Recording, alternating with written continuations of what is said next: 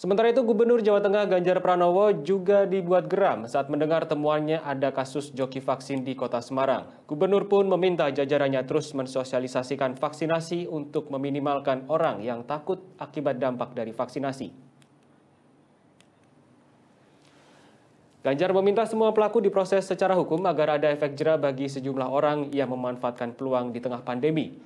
Sebelumnya, Polrestabes Semarang pemirsa berhasil menangkap joki vaksin di kota Semarang. Untuk itu, sosialisasi manfaat vaksin akan terus digencarkan agar tidak ada lagi orang yang takut karena divaksin sehingga harus membutuhkan jasa joki vaksin hanya untuk syarat perjalanan saja.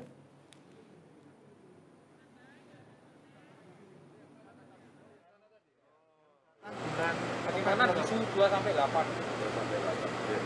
Kita kasih peringatan keras sekarang. Gak ada joki-jokian ya. Jangan sampai karena uang, jangan sampai karena kesempatan, terus kemudian main joki-jokian. Udahlah fair-fair saja begitu ya. Karena ini kebutuhannya bukan soal pencapaian hanya target statistik begitu ya. Tapi ini untuk kesehatan dan melindungi masyarakat gitu. Itu mau melindungi, jangan jadi jangan dijokiin gitu ya.